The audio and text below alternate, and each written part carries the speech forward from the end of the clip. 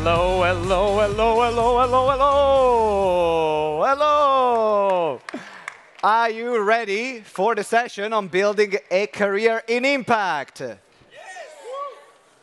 Wow. All right, we can do it better, right?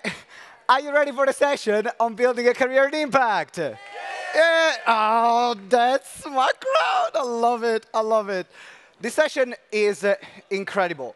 Like, first of all, did you know that uh, an average human being works about 90,000 hours in their lifetimes?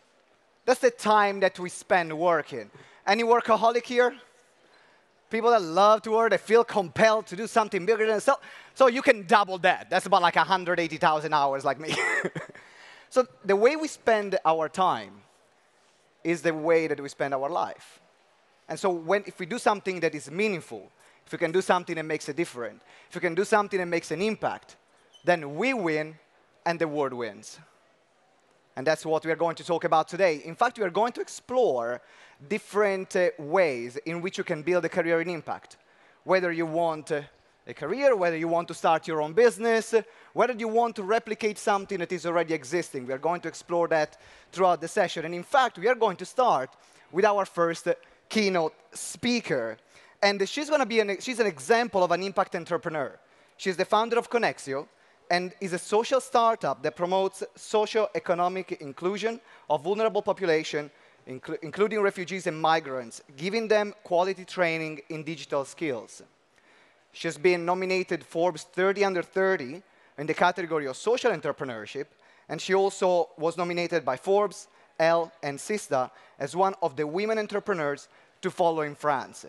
So without further ado, can you please give a massive round of applause to Jean Guo?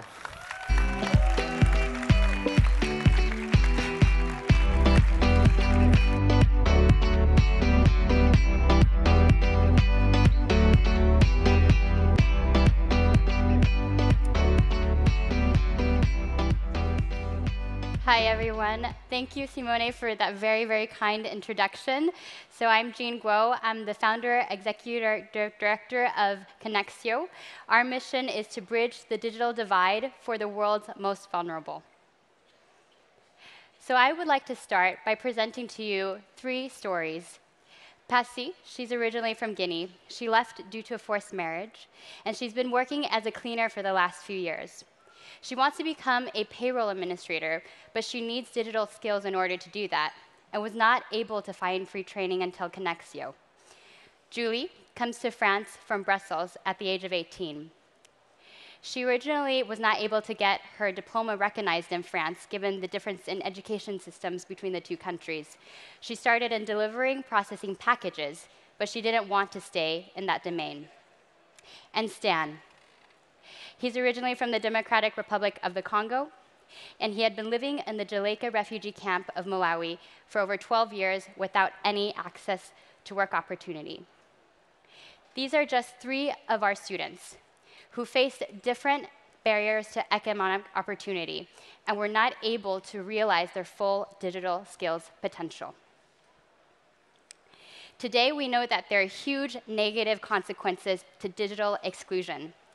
Just in Europe alone, there are nearly 170 million people of working age who do not have the right basic digital skills to work.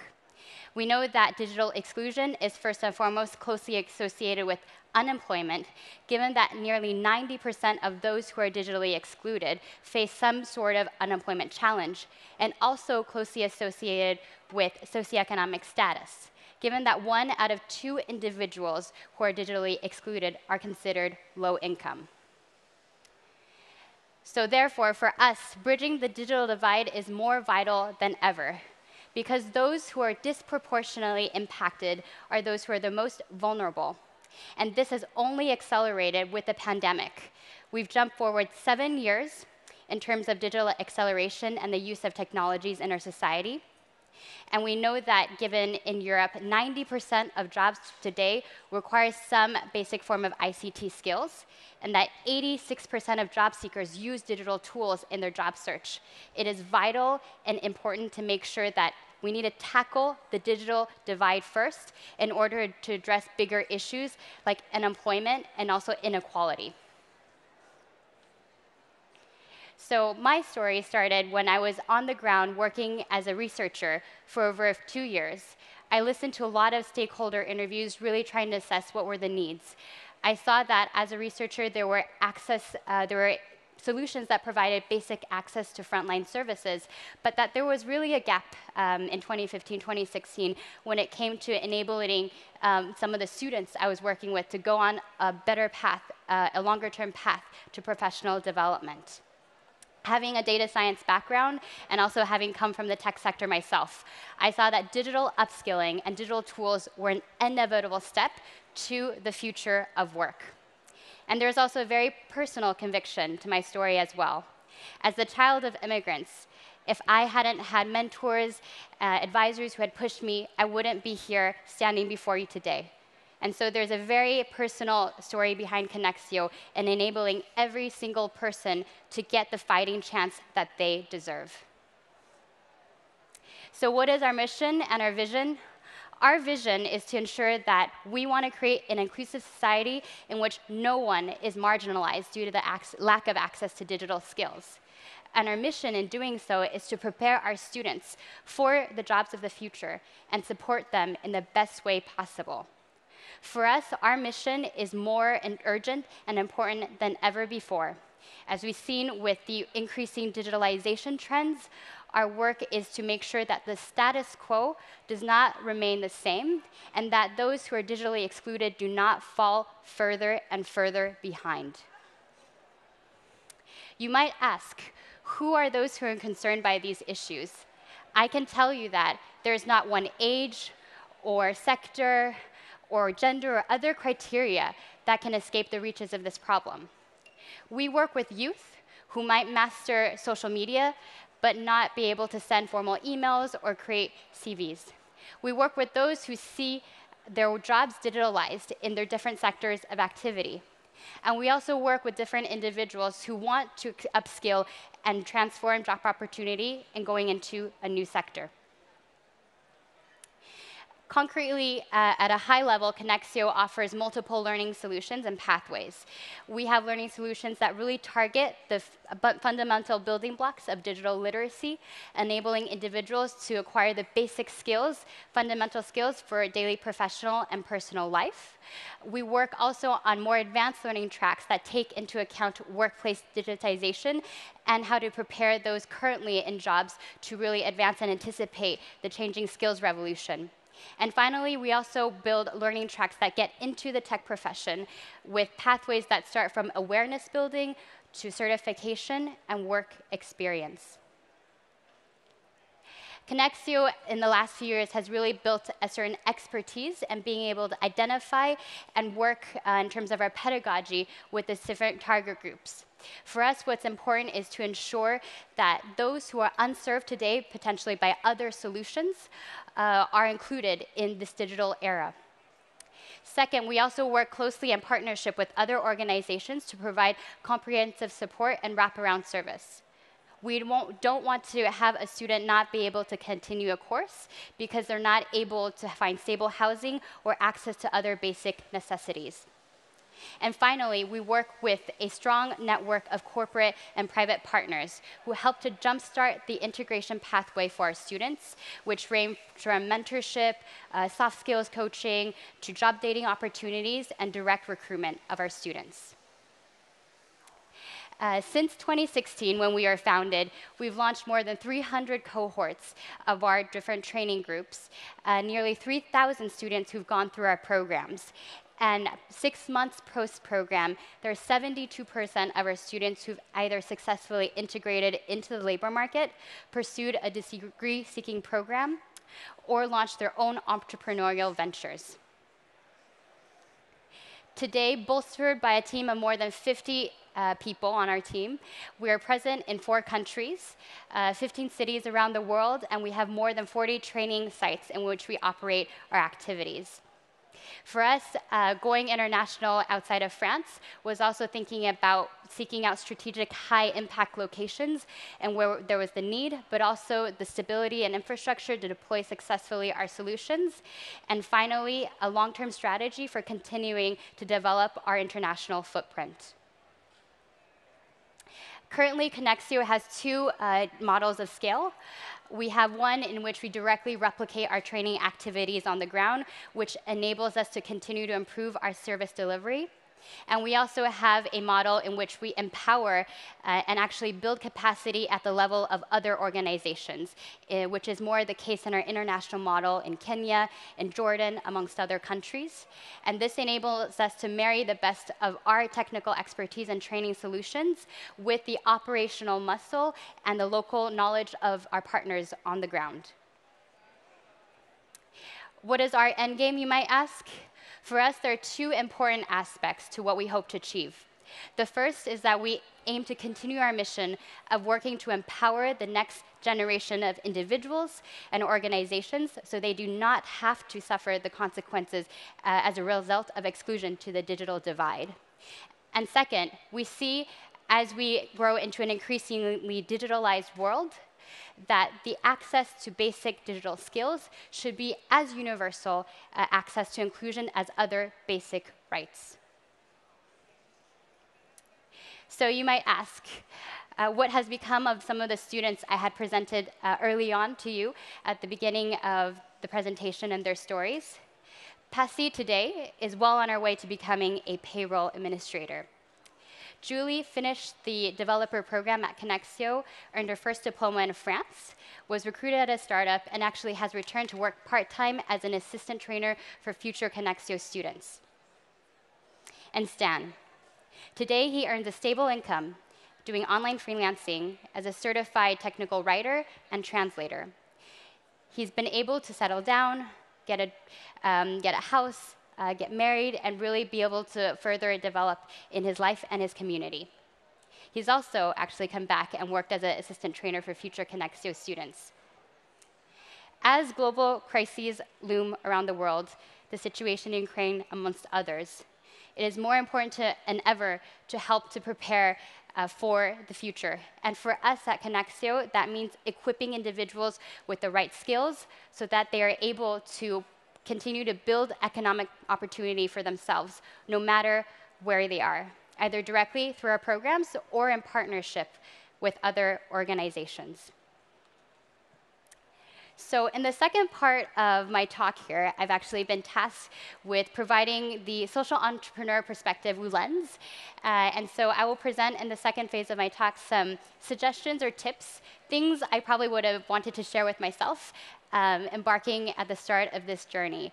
Uh, mind you that some of these tips are my own tips, but um, and some of them apply maybe to just building ventures in general or building uh, ventures in more our category, given that we have, in the nature of the problems we try to solve, specific factors to take into account.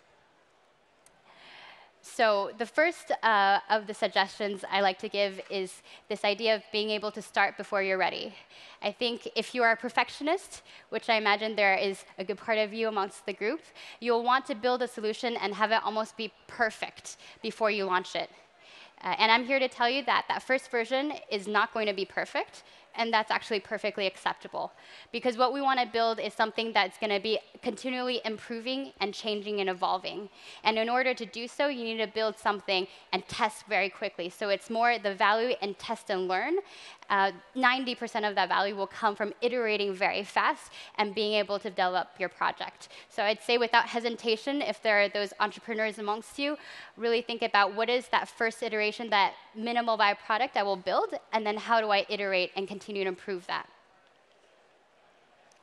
The second um, is this thought about your end game. So I mentioned that in Uh, our presentation in relation to Konexio. The Stanford Social Innovation Review has written a great article about this, and I think what's good about it is it really puts you in the mentality of when you build your venture, what is the bigger problem you're trying to solve for right at the start. Uh, it's important to think about because it might impact your, your long-term strategy for where you want to build your organization, what you're trying to solve, and what does 100% mission achievement look like. So in their article, for example, they outline options including government adoption, meaning that if what you're building is actually a public good, does that mean that eventually, if it would be 100% mission achievement, this would actually be integrating your solution into government public services or part of other um, national, uh, more public um, solutions? There could be a solution regarding rendering solution open source, so making it so that anyone can access the code or uh, the content behind your solution and diffuse it as quickly as possible, a little bit uh, in the style of Wikipedia. And finally, there might be 100% mission achievement in which, um, in an ideal world, maybe the solution no longer needs to exist and no longer need to fight for that battle.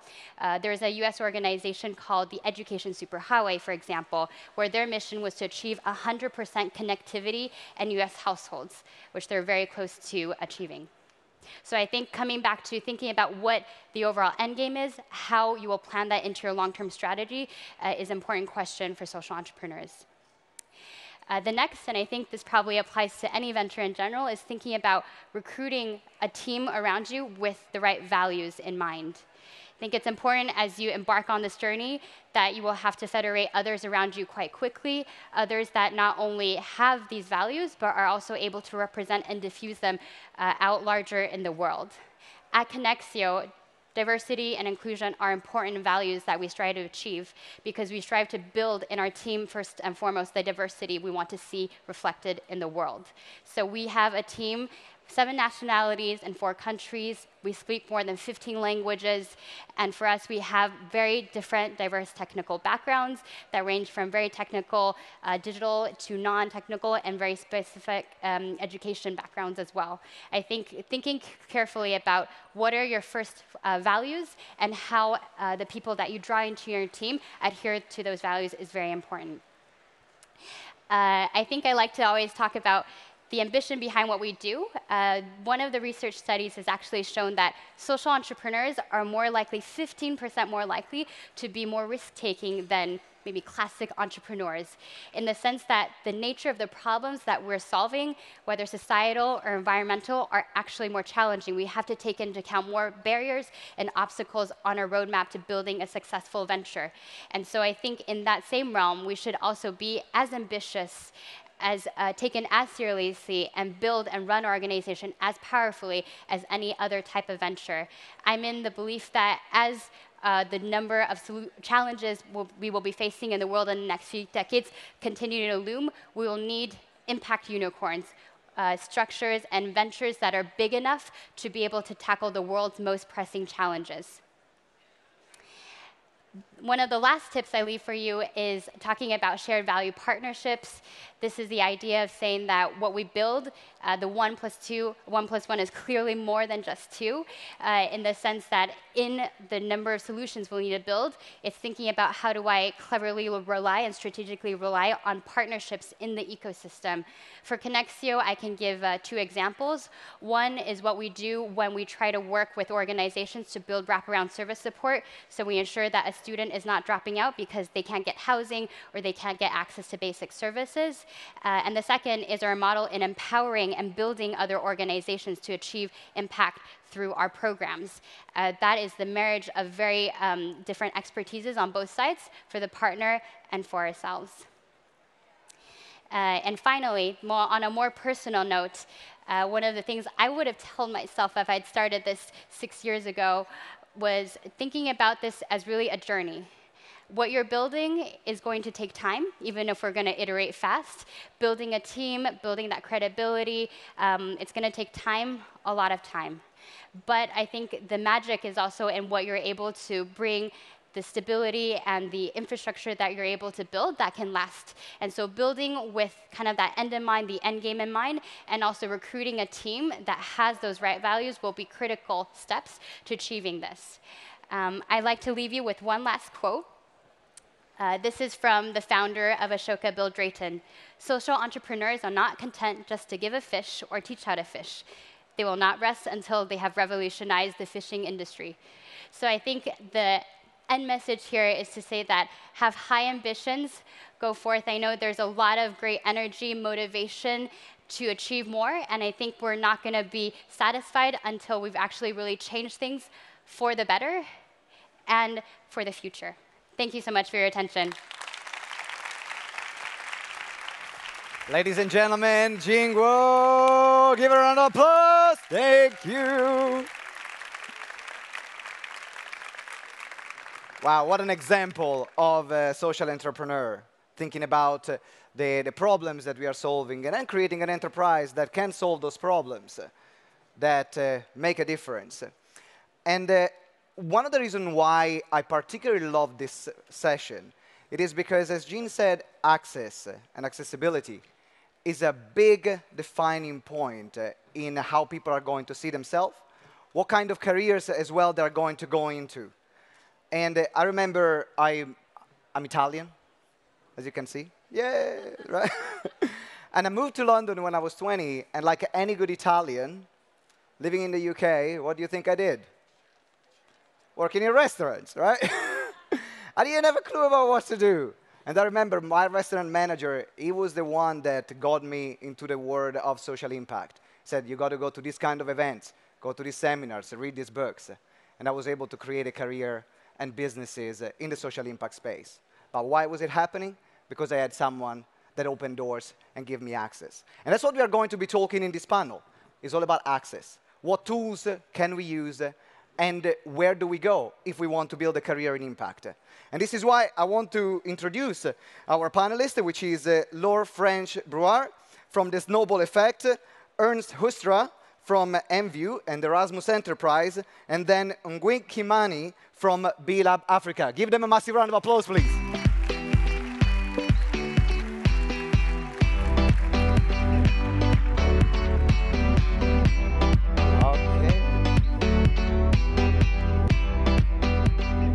So Ngwing, as you can see, uh, she's joining us uh, remotely, so thank you very much for being here. Well, let's start with the Laure, um, snowball effect. Uh, I know that uh, the work that uh, you do with Snowball Effect is to give ideas for people to become an impact entrepreneurs, and in particular showcasing uh, ideas that are already working, so we don't have to reinvent the wheel. Tell us a bit more about how it works and the work that you do. Yeah, exactly. So what we do is that we identify solutions that are having a great social or environmental impact um, and a proven business model. And we help them find entrepreneurs all over, all over the world who are going to replicate the same concept by learning from their initial funders. So it's not like just there's an idea and I pick it up and I just copy it. It's I collaborate with their initial funders so that I develop a franchise, a license of the same concept or something different. I mean, there are different scaling models. Um, so yeah, we give access to, to entrepreneur social entrepreneurship to people who are just not having an idea yet, but still the strong desire to do that.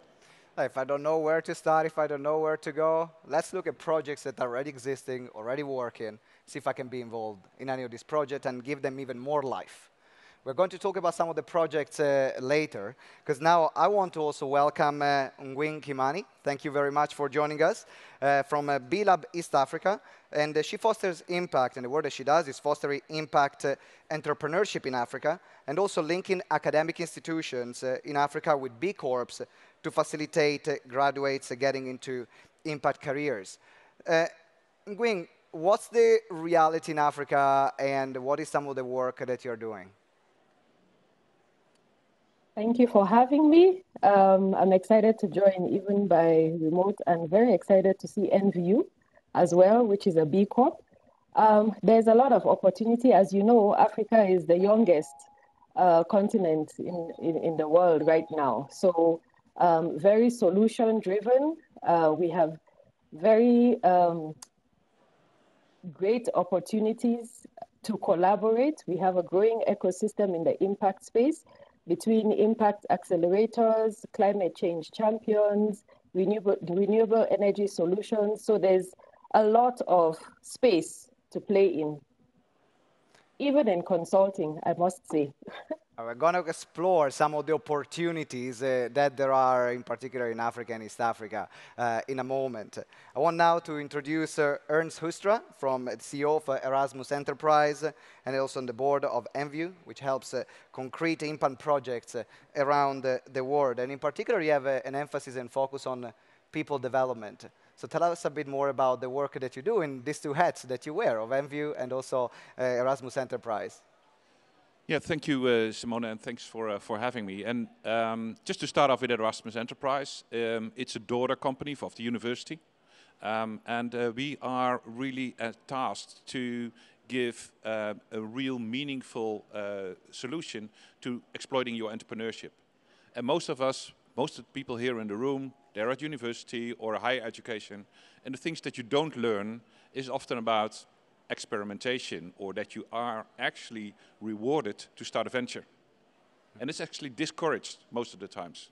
You don't get points for it, you don't get time for it, it's a lot of uh, stress and pressure that you have. So what we have established as Erasmus Enterprise, it gives the people that safe space to actually experiment, to come up with an idea, to bring that further to the next step, to really see if that has a merit to it the tagline for the university is creating positive societal impact. So henceforward, it's not that easy because we have 4,000 scientists. If you would ask them individually, what does that mean? You get 4,000 different answers.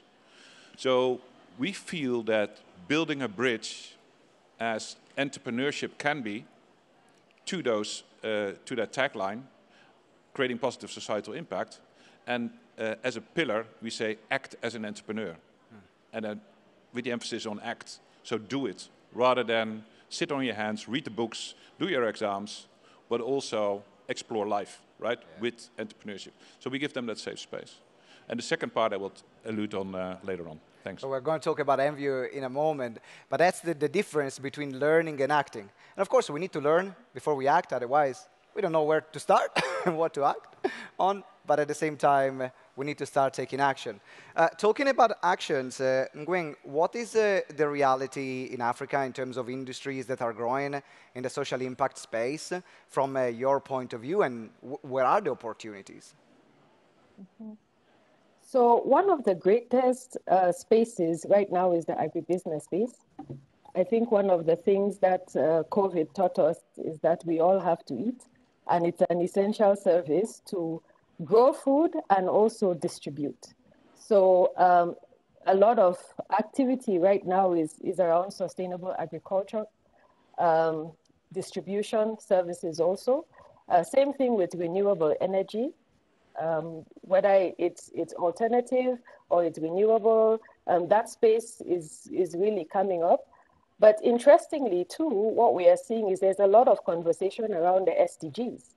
And individual businesses, especially SMEs, also some large enterprises and financial institutions, are taking the sustainability um, issue very seriously and looking for ways in which they can improve their operations so that their businesses can be more sustainable, um, looking for tools that they can use to measure and manage their impact as they are doing that.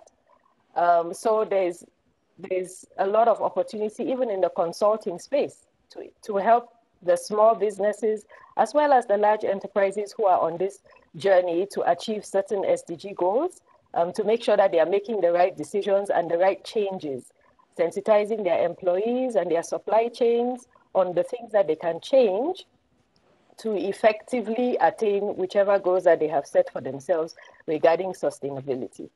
Um, so those few, I would say, uh, are the first point of starting. And uh, definitely, you mentioned the consulting space being a, a big one because uh, businesses need to evolve, need to adapt, uh, need to change, and most of the time they don't know where to go. So this is a big opportunity which is growing on top of the other sectors that you mentioned.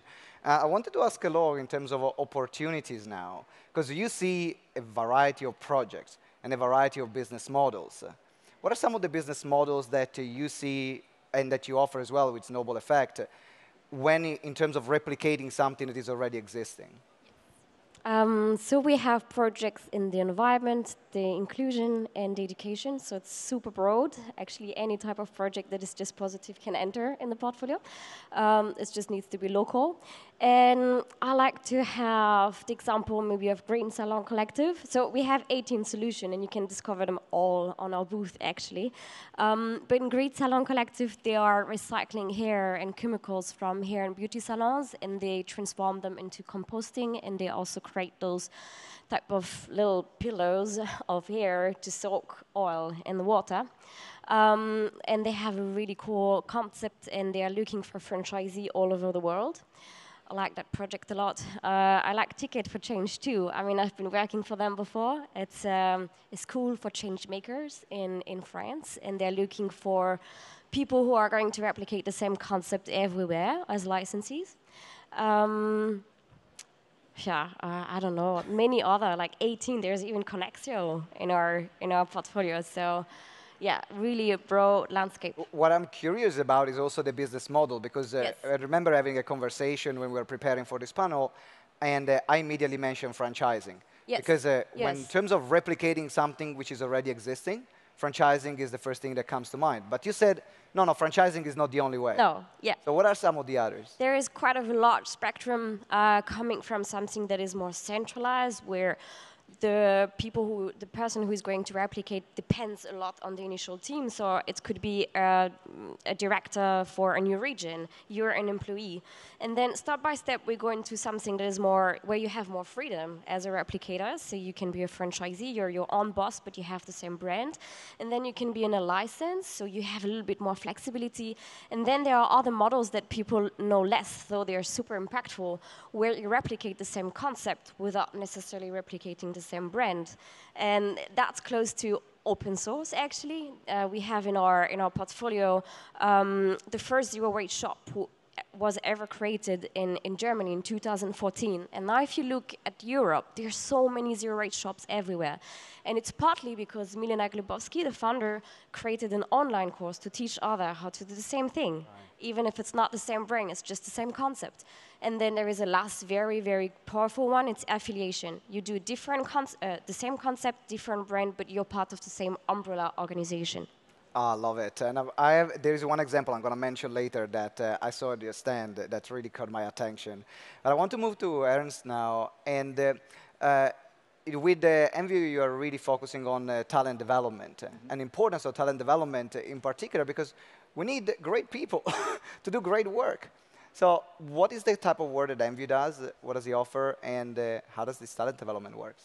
Yeah, sure. Let me uh, sort of um, just just to finish probably off at university what you don't learn, right? Sort of, and and then uh, uh, for instance, um, we run challenges really on on certain themes like the uh, energy transition.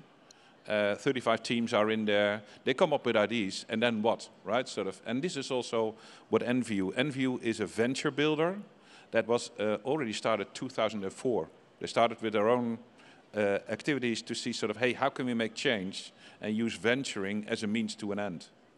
Um, so we have um, probably now started over 24 ventures at the moment. We start off with a good idea, a niche in the market. For instance, we, uh, we are running a, a, handful of projects in East Africa uh, for food preservation, which is a big issue for the farmers. They want to uh, sell their produce as quickly as possible because there's no meaningful way that they can preserve that part. So we set up a project together with local, uh, local farmers, together with IKEA Foundation, actually to set up, uh, uh, to set up a, a solution. That's project managed partly with students, but also partly with volunteers and partly also with people that really engage with that impact, vis- uh, with that impact vision. It's a massive success. It has this societal sort of, I would say, dividend that you can create, uh, but it's also a talent development thing, because the people that are executing in the project, there are the next generation who want to be part of that. So rather than they, they learn about the farming, they learn how to make that a better business model. uh, Not only a better business model, but also creating impact. Yeah. And this is how you would like to advance and top that up into new, a sort of a staged layer. And starts as a small idea, building bigger and bigger, and yet this is also where you can create the impact. So again, comes back to the act now. Uh, what, I, uh, what I alluded to earlier. I can, I can see the, the flow that there is from uh, Erasmus Enterprise to Enviu. It's almost like there is a start as Erasmus Enterprise, think about ideas and start getting your feet wet in different projects, and then building the venture with, the, with Enviu and this incredible project and developing themselves and the skills that they are needed to yeah. make that happen. Yeah, it, and it, is very, it, it, sounds very logical, and it's a little bit reverse engineered that it all makes sense. But at the end of the day, because it starts at different yeah. Uh, locations with a good idea, and you have to be enabling that part, yeah? capture that energy. Uh, so that ha it has to have a certain structure, obviously, otherwise people would be running all, all directions. So you still have to give that a structure, but also kill IDs in an early stage. Yeah. People have to get used to it. You know, it's not bad if we kill your ID because it's not, not carrying fruit in this, uh, in this literally in this instance. It's not flying, so we stop it, we go back to the drawing board, yeah. and we go for the next one. And that is so exciting because, especially in next generation, they love to, uh, to work like that. And, and sometimes it's also hard, being an entrepreneur myself, you know, sometimes you get so in love with your idea that it's like, oh, this doesn't work, it's soul crushing, but at the same time it's a learning experience, uh, and you develop all the skills that uh, you had to develop in order to make it happen. And uh, I want to talk about tools now. And Ngwing, I know that uh, B-Lab is uh, an incredible resource for tools for uh, social entrepreneurs, for people that want to have uh, careers in, uh, as a change maker. What are some of the tools that B-Lab offers uh, and where can people find them? Uh, we have two tools at the moment. Um, one is the B Impact Assessment Tool. This is a tool that enables for-profit organizations to measure and manage their impact the tool covers five different areas. So if you're building a business, really consider using this tool from the onset. Um, it's going to help you set your your foundation and then help you improve along the way. So it measures your governance. Um, it, it would ask you questions relating to what kind of practice, your governance practices you're putting in place to ensure that your business outlives you pretty much and has the impact that you're setting out for it to have. Um, it also measures um, your relationship with your workers. So there's a workers section. We'll take you through all the policies that you need to put in place. So if you're looking for something that would act like a checklist for you to keep you on track, um, that would be helpful. It measures your impact on the environment. So as you're thinking about sustainable business practices or or being a social entrepreneur, thinking about how your relationship with the environment affects your community. That's a good uh, area to guide you around that. And because I have raised community, that's the next section. So that's section four. Um, and then the last section is the customers. So that's the B impact assessment tool. Um, you can find it online at b-impactassessment.net. Um, then you can also uh, consider our SDG Action Manager tool, which we co-designed with the UN Global Compact. And uh, this one basically helps you decide which SDGs that you want to work towards as a business. It would ask you questions, it would give you ideas, it will create space for you to set goals um, for your business at the time. And if you're looking for a career in impact, this would also give you some ideas. Uh, one of the programs that we run um, at B Lab East Africa, and certainly I think in other B Labs, B Lab UK and B Lab Europe, they have the B Leaders program, mm-hmm. where if you're a consultant and you're looking to help businesses that are on their way in this journey, you can take that course definitely and learn how to walk businesses on their impact that's, journey. That's brilliant. And how can people can find that? And where can people find the second assessment? Um, on the still on our website, so you can go to b-labafrica.net. And I remember the SDG management tool was actually launched here at Change Now. I think it was three years ago, if I remember well, with the UN And I remember that moment, uh, and I remember that I signed up immediately, and it was one of, and I looked at it, and it's incredible for businesses. So thank you, Ngwing. Um, Ernst, uh, how about you? For uh, uh students that uh, you know, they want to get involved, either with um, Erasmus Enterprise, uh, or for people that want to develop careers as well, and they're interested also in getting involved in Enviu, what's the next step? No, I think uh, we, are Rotterdam-based university, right? So that we 40,000 students, 4,000 uh, uh, academics.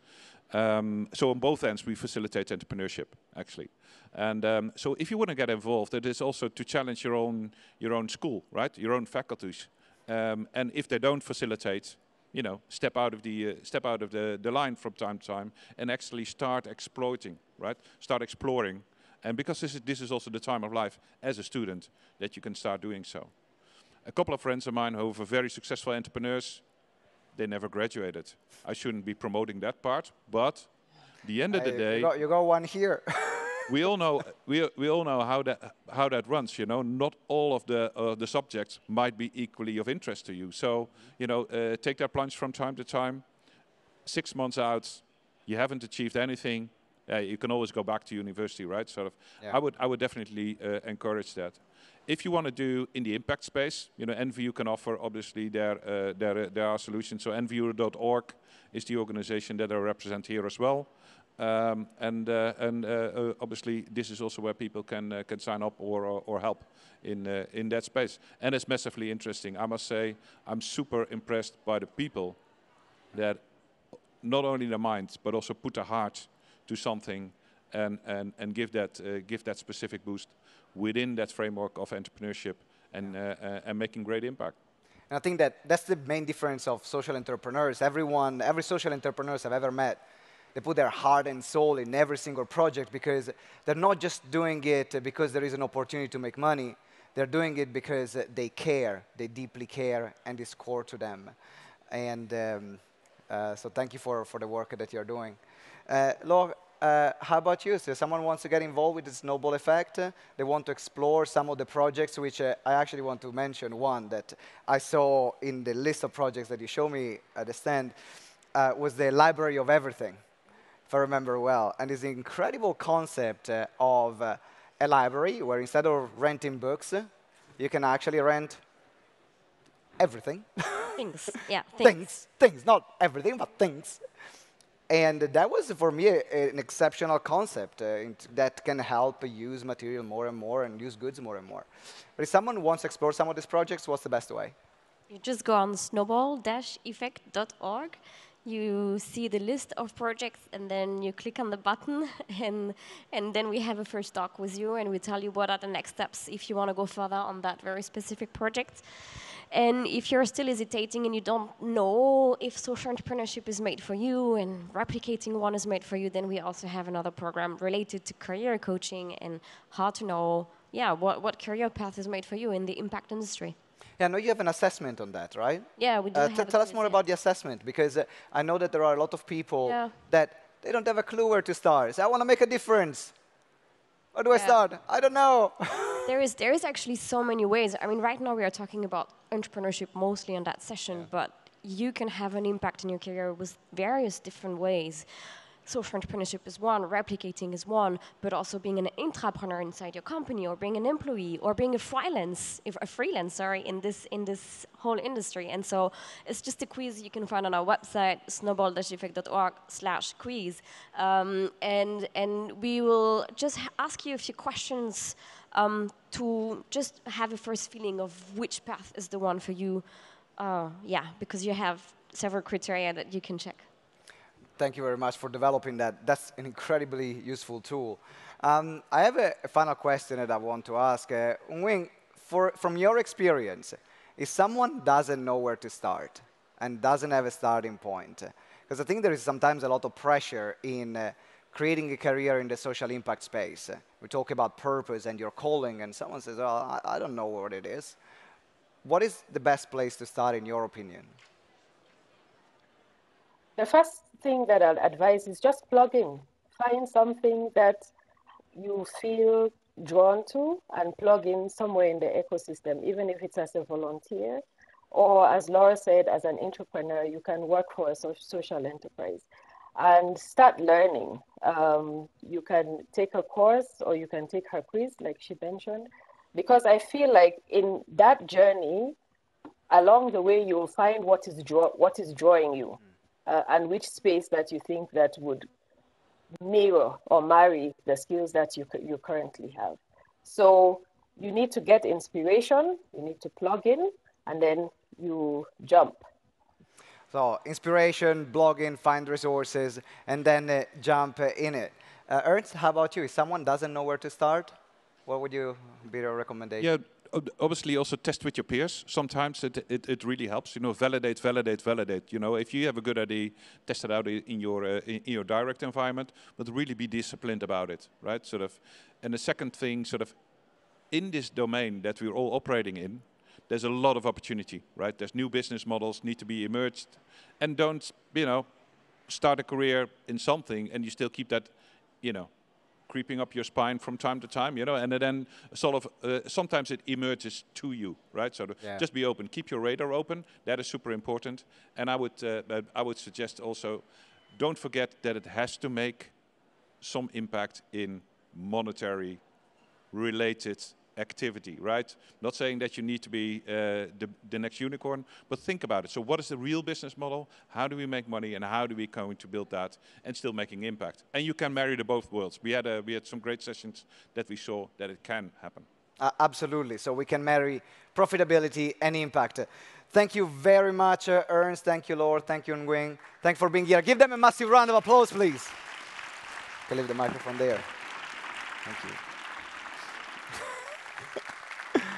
And now, from uh, exploring different opportunities uh, and options uh, in the career space, there is a very special panel that we have now. Because uh, what we said, uh, one of the biggest challenges is for students also, where do we find universities that can prepare us for the work that we are going to do in the future? But also for entrepreneurs, what other opportunities are there and how also can we hire talent.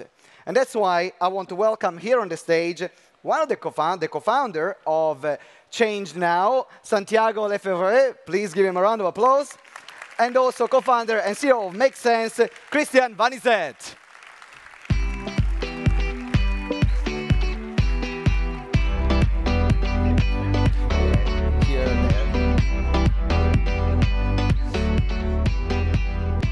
We go.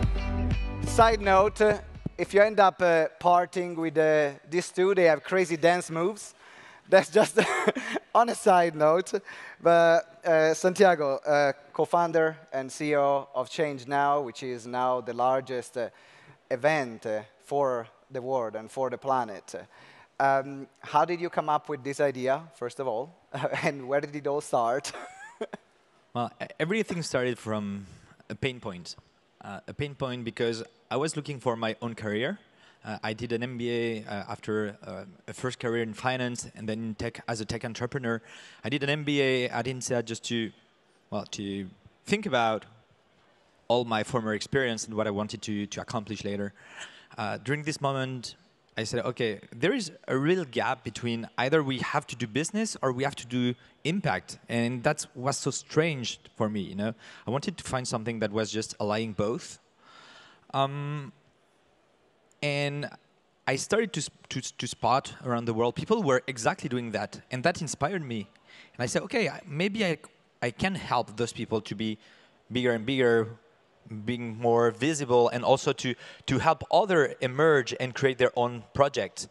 And you know, in the tech industry, you have big events like the CES in Las Vegas and stuff like that. Said, this is exactly what we have to do, something where we can bring together the whole global ecosystem so they can, uh, so the each change maker can really uh, grow faster, you know. And that's how the idea came. And and that was your first career in impact. Yeah, actually, I'm super lucky. I'm one of the luckiest person, I think, because I started impact with with this, with Change Now. And look at this. Uh, and actually, can we give him a round of applause for what he and his team have been able to create? Now, Christian, uh, makes sense, uh, even if you do different things from Change Now, is about bringing change makers together as well. It's a global network of more than 200,000 citizens and entrepreneurs that are committed to solving social and environmental issues, and uh, which makes sense. You have supported more than 3,200 local initiatives in more than 100 cities and 45 countries. How did it start? yeah. yeah, so I was um, I started as a student. How many of you guys are still students in the room? Okay, cool. So this is the best moment to try something because you you don't have kids yet, you're not married, so if it fails, you're not going to be single. Uh, so try now. Anyway, so I started in, in a business school in universities, and we did a round the world uh, tour with backpacks to meet social entrepreneurs and share about their initiatives, and this is how Make Sense was born. Uh, and today, we really focus on helping people uh, find a, a, meaningful career to have an impact because actually what we figured is that the, the best individual impact you can have is your work and your job. And so we launched, and this is why I'm here today, we launched a platform named jobs.makesense.org where you have more than half a million French people who try to look for a career in impact. So these feelings that we all have that we need to do something for the planet and we need to make it our job. Uh, you're not just all of us, I mean, we've changed now, we al already see that it's big and it's shared, but there's a bigger and wider movement that's growing every day, and this is what makes me so hope hopeful. And uh, also having a career in impact apparently makes you grow your hair, because That's yeah, uh, the picture is, is lying a bit. I'm going to a career in activism now, so I'm changing my. Uh, changing the image to match uh, the stereotype. Santiago, I know you're here also because uh, you're creating a partnership with uh, Make Sense in particular um, regarding finding job opportunities. Uh, tell us more about this partnership and what we can expect. Well, yes, uh, we're super happy to, well, we, we start to know each other with Make Sense for a long time now. And we decided that it, it, was really time to what we tried to do here is mean that means collaborate you know. And one of the pain points also there is for uh, the younger generations and the uh, I would say the market job market is that there is always a discrepancy between the high growth of those impact startups, impact uh, companies, and the fact that more and more people also want to join them, but uh, they, they don't have really a lot the opportunity to meet. And so we are launching something that we tried earlier, but now for the uh, last, uh, the fourth, uh, uh, sorry, the first, the fourth trimester of this year, we are launching job fairs. We are coming back with a, a, new product, which are the job fairs for impact. And where is going to be the, the, the next one? Well, the first one, first will, one. the first one will be in Paris uh, because we used to uh, to do it in Paris uh, for the first time uh, before COVID. So this is really something we, we want to amplify, and that's why we, we collaborate to, to do this uh, relaunch of uh, of job fairs. and then we are definitely considering going into the different ecosystems through Europe, so we can also help making this job market an impact in Europe. I have a question for you, Chris, uh, Christian, regarding uh, uh, this collaboration and partnership. Because we, at Change Now, we talk a lot about creating partnerships uh, and the importance of partnering. What makes a successful partnership? For us, uh, what would make this partnership successful, I hope, is like in 10 years from now, no one works in jobs that they don't like, and that we can show that there is a way to you don't have to choose between your career and making an impact. And so makes sense, for example, we can't do it on our own. But if you partner with organizations like Change Now, and if we bring more people together, we can create a huge momentum so that even people refuse to go to jobs that don't make an impact. And so this is the, the dream and the hope I have is that in 10 years from now, everyone will be able to have a job that creates an impact. And that jobs, like, yeah, my, my, my, my real dream is that no one ever goes work in uh, oil and gas industry uh, because there's so many amazing jobs that pays as much to create impact in renewables and in solving climate change, for example. And so we don't have to choose anymore because one of the problem uh, for people that want to make a, a, career in impact is also the salary. You know, sometimes the, there are higher salaries in other careers that are not in impact, and that's why they, they attract talent. Uh, so there is a lot of work that needs to be done in uh, in this space. I can jump on this. Please do. do. Yeah. Um, because when I, I, I come from a very modest background, and so very early I wanted to find a job that was paying high salaries. You know, um, that's why I started in finance, etc. And the, and I wasn't really happy in what, in what, what I was doing. And I think that one of the things that really um, make me slow in under understanding my way, my own way, is that I was locked in a wrong vision of what's important in life, you know? Because I really believe when you do business that um, the more money you, you earn, the more value you represent. And I think this is a totally wrong vision of the world. Okay, I think that, and that's why I'm much more happy doing this. Much, uh, it's that I think your life and what you represent is more the impact you have on other people around you, and that's how my new criteria to know if I'm successful or not. Yeah. So we're talking here about changing uh, how the value of people is represented or seen in society. Uh, what, what, are your thoughts on this, Christian? Yeah, so we did a study recently with a business school named Audencia. And what we realized uh, from the study that 92% of the people we surveyed wanted to have a, a career that is meaningful, and 57% of the people wanted to have a career in impact. So it's a strong movement in society. And what I'm seeing is that when I started Make Sense 10 years ago, there was not a lot of jobs uh, to create impact and at the same time have a salary and make a living out of it. But right now, for example, on the platform that I talked about earlier on jobs, there's right now 25,000 job offers that are open. And it's really amazing because you see this huge growth of the recruitment in that field. You have huge startups like Back Market, for example, is one the most valuable company in France. They're recruiting a, a lot of people, and it's a job where you make people buy less phone, and at the same time it makes revenues and it grows. So there's a lot of examples that we don't need to choose anymore, and so that's what makes me really hopeful. And I don't know, I, I just feel like it just needs to happen faster. And I really love the speech of the students at AgroParisTech. I don't know if you guys have seen it. How many of you guys have seen it? Yeah, so for those who just ask the person who raised their hand if you haven't seen it. Uh, they, they, really tell like, yeah, we, do, we don't want jobs where we destroy the planet anymore.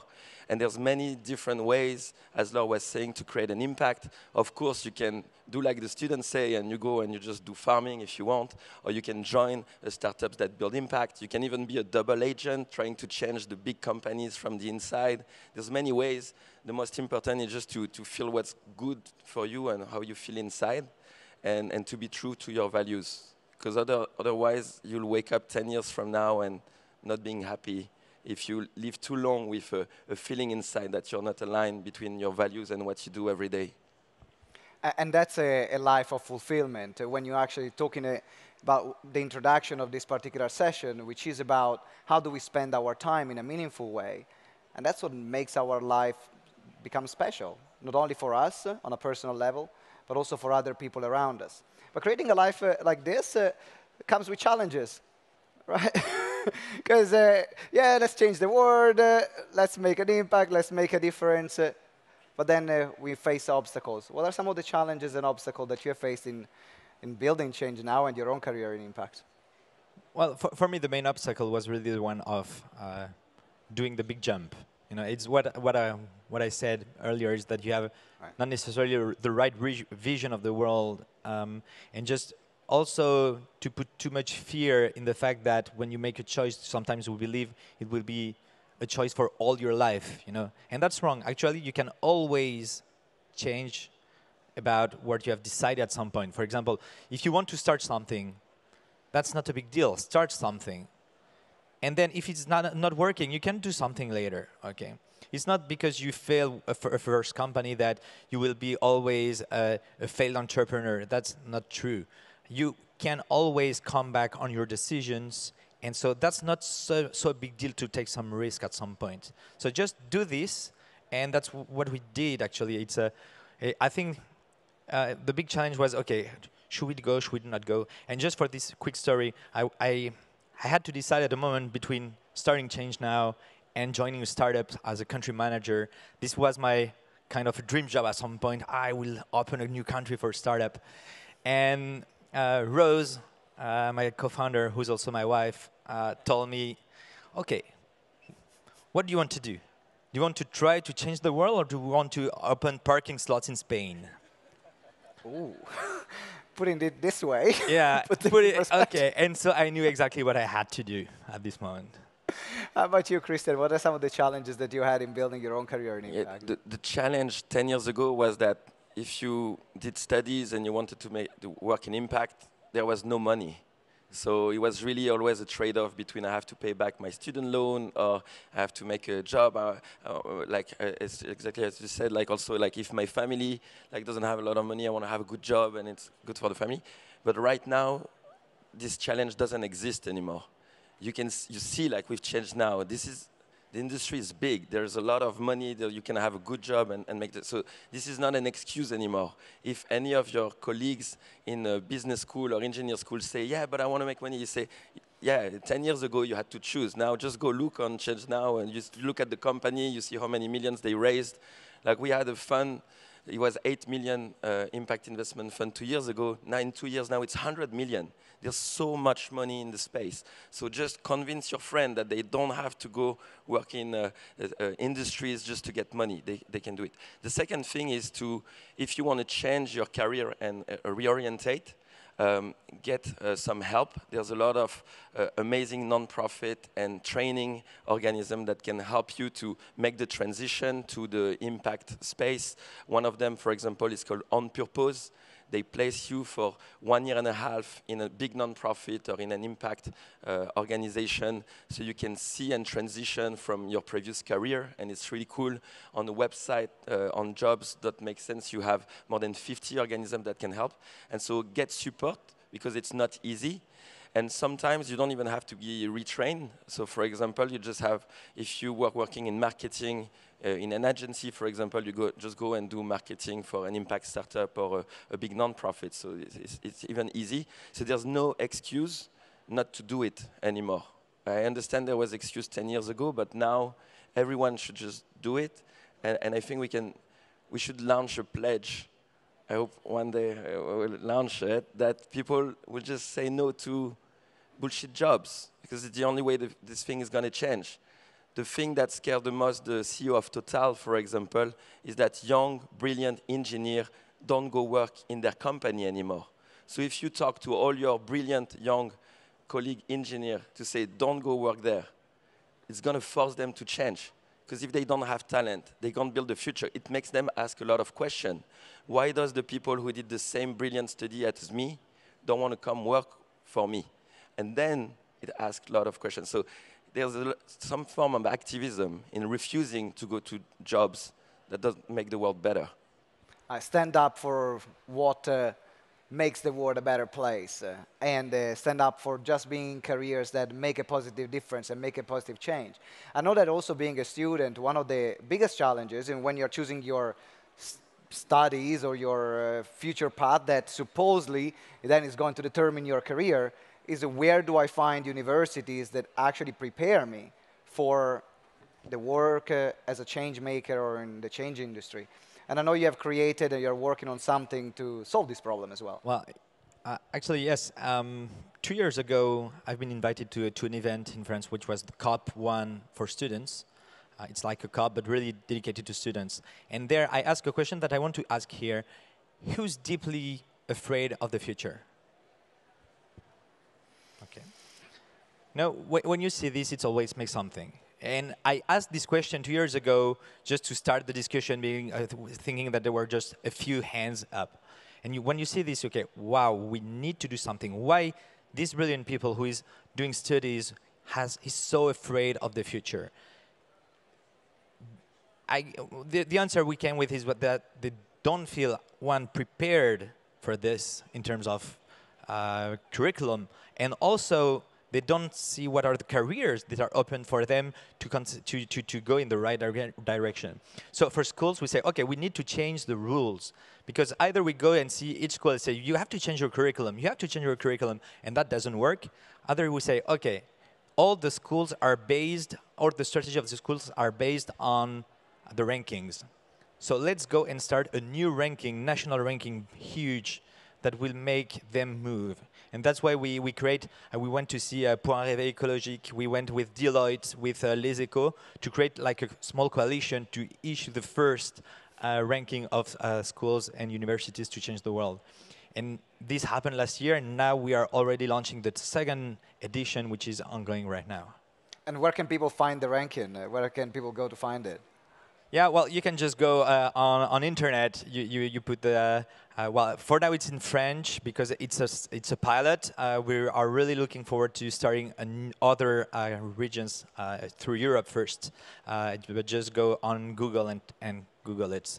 Yeah. And then that's where you can find it. Yeah, definitely. okay. I love this because when we are talking here is about changing how people see. Just just sorry sorry Go on Ecosia and, go, and Ecosia. Go on Ecosia. Ecosia. Ecosia. Ecosia. The, the, CEO of Ecosia was actually here, Christian Kroll, on the first day on this panel, and uh, that's we need to change the term from Google it to Ecosia it. And for those of you that don't know what Ecosia is, uh, is a search engine uh, where instead of the money that they earn from the ads, instead of uh, banking them or paying the shareholders, they're actually planting trees, uh, and they've been planting more than 150 million trees so far is brilliant. So, Ecosia it from now on. Uh, Christian, I have a final question for you, because uh, you're very passionate about building movements, uh, but sometimes building a movement uh, and having a career and having different passions and supporting projects, it's quite difficult also to manage your time and see where I'm spending your, my time. What is your idea about uh, how, how, how can you manage that, like career, movement, supporting projects, activism, What's your view on that? Yeah, um, I'm not going to answer the question straight.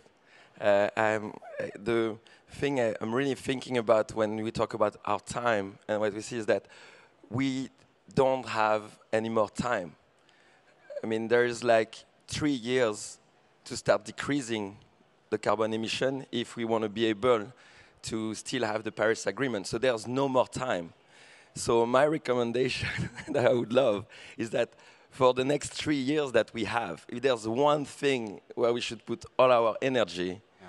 is on trying to solve this crisis with our jobs, with our activism, whatever you do, because in the fourth year, then you can have regret, but you won't have remorse because you would have tried everything to solve this. And for me, this is really the thing, is like our generation have a timing issue.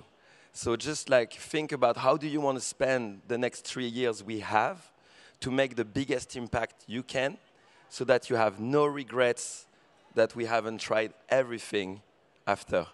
And there's no other generation in human history who have this dilemma and questions that we have to ask ourselves now. So for me, I decided that for the next three years, I will not count my time. I will give everything I have every hour of the day and maybe I will rest after for the next 10 years. But I have a kid, he's four years and a half, and I will not be able to look at him in the eyes and say that I didn't try anything I could in the next three years. So this is my call to all of you guys.